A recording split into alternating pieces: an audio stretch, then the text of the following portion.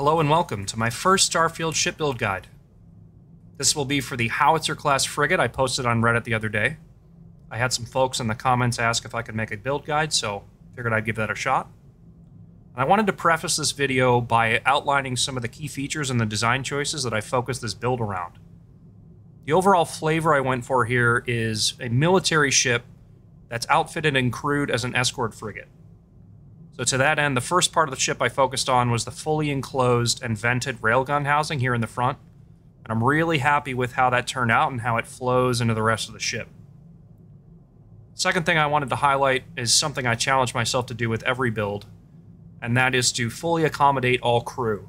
Everybody has a bed, there's a full mess hall, I have a full 3x3 cargo bay in there, and I'm pretty happy with how the companionway, the ladders, and the doors flow throughout the ship which you'll see in the shipbuilder. I really wanted this ship to have a sleek silhouette, and I went for a sort of gunmetal gray and darker gray highlight to really give this a sleek uh, silhouette and not really stand out too much when you're out in the void of space. In terms of silhouette, you'll notice as I get to the engines here, I've sacrificed a little bit of engine power to use the Nova engines. I really like the lines that they uh, end the ship with. And because I do have a C-Class reactor in the middle, we've got some C-Class engines back there just to give us some maneuverability. But because all our guns have such long range and because turrets are pretty busted in this game, the maneuverability isn't too big of an issue. So, with that out of the way, let's get into the shipbuilder.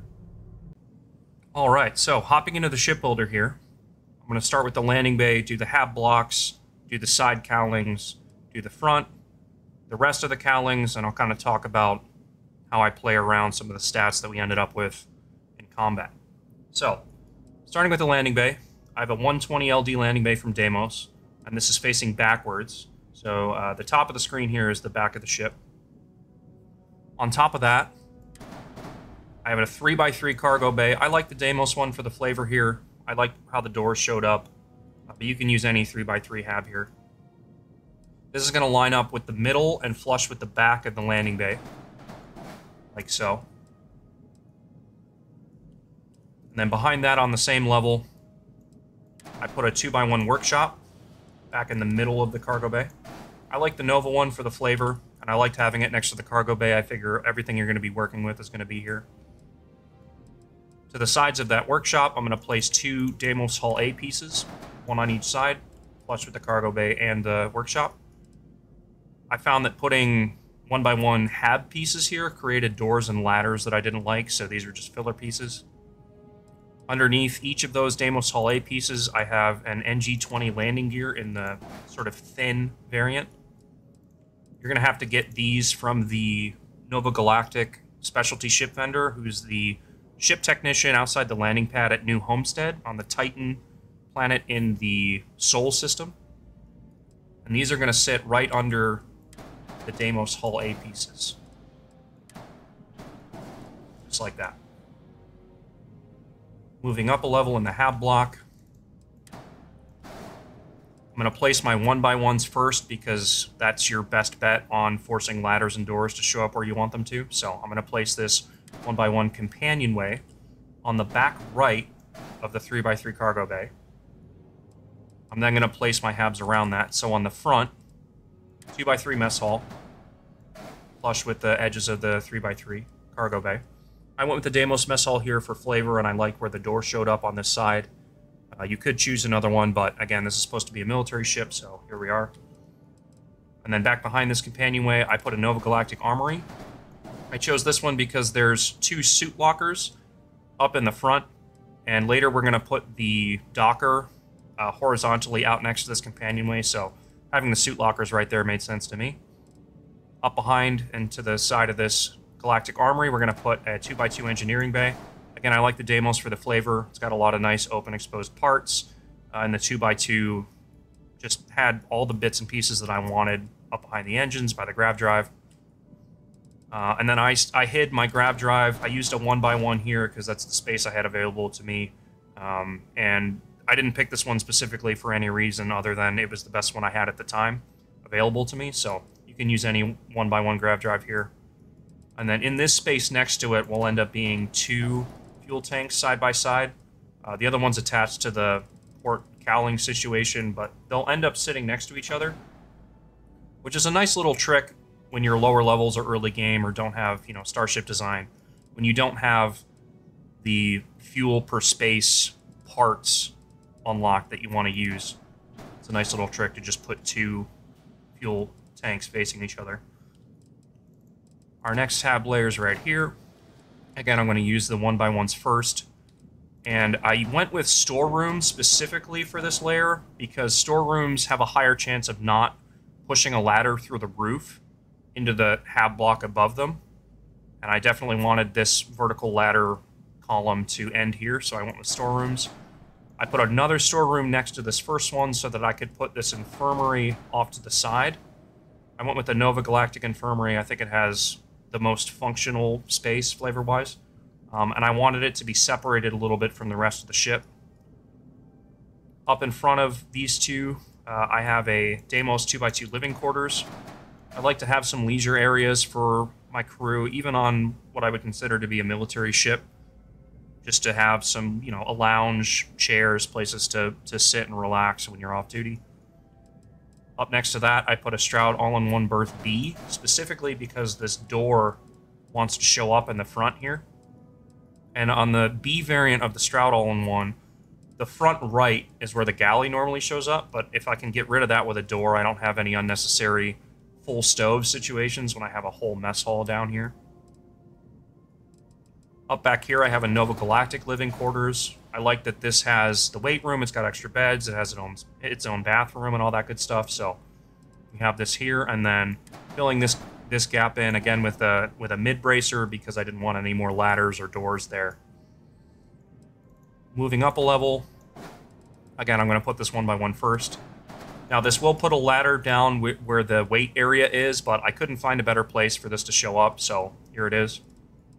I have a 2x2 battle station up in front of that. I chose the HopeTech. I like the lighting scheme, and I really like this front middle has a nice uh, console desk area with, I thought that would be where you'd fire the railgun from. So I put this here.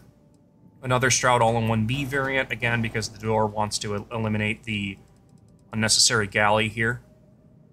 Up in front of that, we have our cockpit. This is the Cabot cockpit, which you have to get from the same ship, ship technician in New Homestead. The uh, Nova, Nova specialty part. Up behind that, I have my captain's quarters. I went with the HopeTech here because I like having my own bathroom and it doesn't feel as cramped with the bed and the desk setup. Now, you will have a ladder show up in the back of this into the back of the battle stations. I couldn't get that to not show up no matter how I put these together, so just the best that I could do there. But that's your hab block. Now we're going to move on to the side cowlings. I'm going to start with the starboard side because that's where the docking port is. And for reference, you're going to take a Stroud Connect Pro Docker, uh, starboard orientation, and I'm going to snap that to, directly to this Deimos companionway that's in the center of this side face here. Right in front, again, of the Nova Galactic Armory where my suit lockers are. To the side of that, to fill this space, I put a Deimos Hull A piece. I like the way that the uh, outside face of this breaks up the design of the rest of the cowling. So you could go with the Stroud mid bracer if you want, but I prefer this, the Deimos Hull A here. And then up on top, of the Docker. I put a Galleon S202 cargo hold as soon as I had these unlocked up there. If you don't have these unlocked, you could use a regular Stroud cowling uh, without the top snapping point, and you'll get the same silhouette. Next to that, I put a Stroud cowling with that top snapping point. This is where we're going to put our turrets later. And then on the front and the back of this area, we're going to round it out with some Stroud Cap A pieces To round out the bottom, I've got a Stroud Cap A up in the back here, mirrored with the one we just placed. Under this front Stroud Cap A, I'm going to put a Stroud Nose Cap C, starboard 4. That's just going to sit right underneath. And then to round out this whole area, I have two Stroud Cap A's mirrored and facing outward. Put these right underneath what we got going here already. Moving over to the other side, pretty much the same thing. We replaced the Docker spot with another Deimos Hull A. And you'll notice I've pre-attached this, um, the partner fuel tank. This is going to connect specifically to the rearmost hull A here on the interior. So we'll place that first.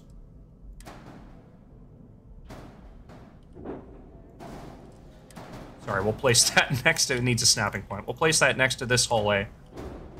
So you can see it fits nicely in there, right? So we've got these two hull A's here, one on the back left of the 2x3 mess hall, and then next to that hull A, its partner and the fuel tank. On top of that, again, I've got a galleon, but you can use the Stroud cowling without the top snapping point. Up in front of that is the cowling with the top snapping point. And then Stroud Cap A, nose cap, Stroud Cap A stack up in the front of those the Stroud Cap A on the bottom middle, and two mirrored Stroud Cap A's to round out the back of this. For the nose, we're going to take in some vertical slices, starting here.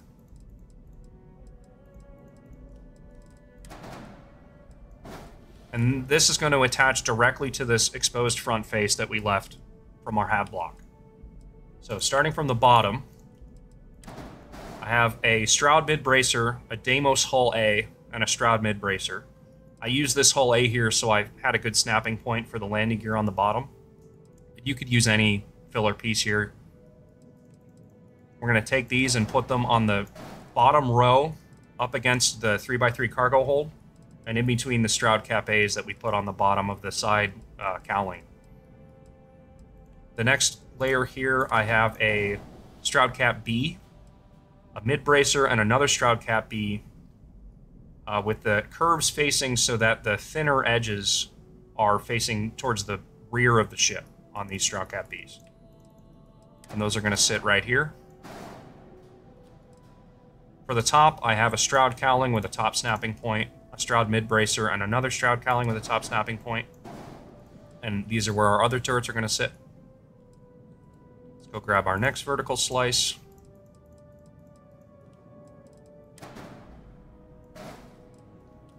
So this is where I have uh, the reactor. This is just the best too tall C-class reactor that I had access to. Um, if you want to use C-class engines to get this thing to move at all, you're going to want to use a C-class reactor, so whatever one you have available. And that's going to snap to the bottom middle of the uh, structural slice that we just placed. And then on the sides of that, on the bottom, I've got the regular Stroud cowling flipped so that the curve is on the outside, which you can easily tell by the lights when you're flipping it around. Here's one for the other side. Up on top of that, I have more Deimos Hull A pieces. Again, I like the way that this breaks up the uh, outside face. I'm going to put one on each side. On top of that, I'm going to put some Galleon cargo holds. Again, if you don't have access to these, use the regular Stroud cowling without the top snapping point. And then here's where we put the railgun together. So let me go grab that. So the whole point of this ship really was to use this radiator to vent some sort of a railgun setup housed within a full uh, covering of, of, you know, fairings. So it's really straightforward, though, when you get down to it. It's just right on top of the reactor, I put a HopeTech radiator. And then flush with the top snapping point of the too tall reactor, I put a Nova weapon mount. So that it's right in the middle And then whatever guns you want to use here are fine. I wasn't able to use the actual physical railguns because their range is so small that I, I wasn't able to make them be effective with the maneuverability that we have. So I just used whatever longest range guns. And then to fill out this regular Nova weapon mount that we've got here, this is just a regular, this is not even a specialty piece. You're going to want to uh, fill the outsides first with whatever guns you're going to use. And then probably depending on how big your guns are, you might not need to do this, but if you're going to if you're going to do this with like really big guns like this for example, you can actually clip these guns into place if you duplicate them. So if you hover over this and duplicate it, the game is going to try to put the duplicate in a nearby valid location with its own unique snapping point. If I accept this, it'll sit right there.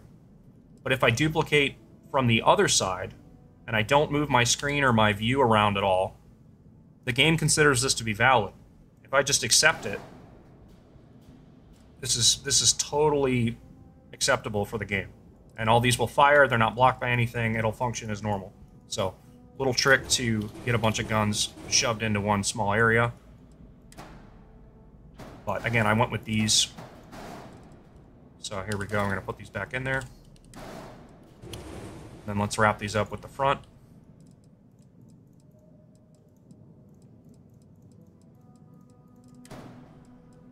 All Stroud pieces here. Starting from the bottom, we have a Stroud Cap A, flush with the Stroud cowling we placed on the bottom of the last vertical slice.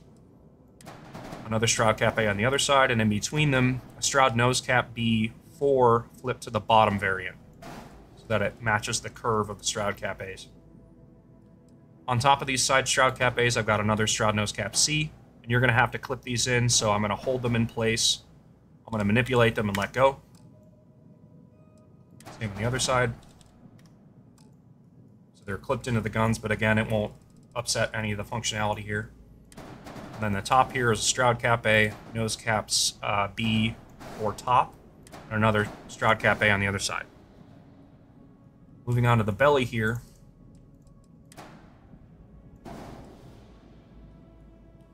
You're going to take, these are both NG20 landing gear, the wide variant. You just cycle through them until you get to the wide one. I'm going to put the forwardmost one on this Deimos Hull A, and the other one right behind it, flush with the landing bay. Up in front of the first landing gear and directly under the reactor, I'm going to put a Deimos Belly 4.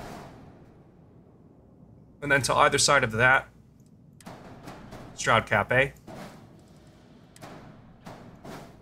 These are in line with the first landing gear and the Deimos belly. Back behind these two Stroud Cap A's, we're going to have two regular Stroud cowlings, just again, so flips of the curve and the lights are on the outside. One on each side. And then on either side of the landing bay, I have two more Stroud Cap A's. And this creates a really nice silhouette flush with the landing bay. Really happy with how that turned out on the bottom. Moving on to the engines. We're going to place those first. Let me grab them here. I went with these Nova engines. There's different variations of these, but I really like the silhouette, uh, the curves that this continues from the rest of the ship. If you want to use more powerful engines and get more mobility, say if you've you know, completed the main story and you have Slayton Aerospace engines and that whole thing, um, feel free to do that, obviously, but I sacrifice some mobility for the silhouette here. And these are going to snap to the the two hab uh, pieces that we have just directly. So it should be in line with the two pieces that you see there.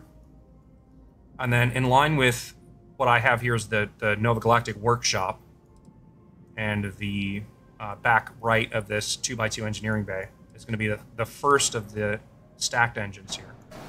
So again, that's in line with this the bottom of this hab. And then we're going to have to uh, the game won't let me place this engine where I want it right now. It won't let you stack these two engines. So what we're going to do is we're going to duplicate this up twice. Once, twice, and then get rid of the one we don't want. And this has enough valid snapping points for the game to be happy, and now it's where I want it, so there we go. To wrap this up, a lot more Stroud Cap A's. Four of them here top and bottom either side. So if you look right on top of these Nova engines and flush with the back, one, one on the other side, flipping over to the bottom. See, we've got this nice space here where we're going to put one, one on the other side. Up on top here, I have a Nova cowling facing backwards. You're going to have to clip this because, again, the engine, so we're going to take this, hold it right above the companionway here, manipulate it and let go. And then we've got two more Stroud Cap A's to put behind the cockpit here.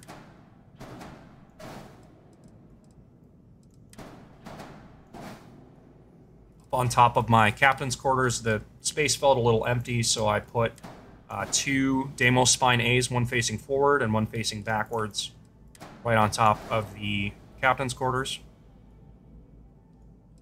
And then to cover up the sides of this top area, the the two by two battle stations and this other, our second uh, Stroud All-in-1B, I have two Nova Cowlings, one facing forward and one facing back to make a nice uh, curve here. And those are going to sit right on these exposed snapping points to cover that up. One on each side. And then these three pieces are going to clip into the cockpit. One thing to keep in mind is that um, as I clip this into place, and this is going to be, you know, there's these two exposed snapping points right here that's going to sit on both of them. And I'm going to manipulate it and let go of it right there. The edge of this is rendered in the cockpit, and it does clip through the stairs a little bit, but it's it doesn't inhibit your ability to walk up and down the stairs, so I'm just kind of living with it because it looks so nice on the outside. Here's the other one on the other side. And then I have a Stroud Nose Cap B, which will sit on these two snapping points. You're going to have to clip that into place as well. And this does not uh, clip into any walkable area in the cockpit, so that's fine. Now the rest of our weapons and our shield. Uh, I personally, I, I clip the shield into this Stroud Cap A over here. To do that, I just I just placed whatever shield I had access to at the time and then I uh, clip this back into place. There's plenty of snapping points for this cap A to attach to, so we're good there. And then these top snapping point Stroud cowlings that we placed, each is going to get an equipment plate. Equipment plates are sold by anybody that sells Taiyo parts. That includes like Red Mile or the ship technician on the landing pad at Neon, for example, will sell them. So not too difficult to find, but they are sort of specialty. And then just whatever turrets uh, the best turrets I had access to with good range, I put on top of those equipment plates. There you go. So in terms of stats, um, you only have 44 mobility. Again, I sacrificed some mobility for style, but because you have such long range with these weapons, these have 3,500 range, both of them. You're actually kind of okay. You don't need to turn and maneuver as much if you can stay at a distance and just blow things up from 3,500 meters away. Um, 4,100 cargo capacity is not a lot, but if you're running missions and selling often, I find it to be enough. It just creates a more active gameplay loop, and I don't mind that at all. You're seeing 17 light year jump range here, but because we have so much fuel, you can actually get a decent distance. So you're you're not uh, hampered in into significant away there. 1450 shield is a pretty decent amount, especially when you start putting some points into the uh, shields in the skill tree. So you can you can take a pretty good beating with uh, 1450 shield, so we're pretty good there. And the weapons obviously pack a punch, so you're pretty effective. Um, I class this as a frigate for my flavor because it, you know, it's not your top of the line capital ship, but it definitely packs a lot of firepower and could could probably escort uh, a bigger vessel. So there's your build guide. I hope it was helpful. I hope you enjoy your shipbuilding, and uh, maybe I'll see you in the next one.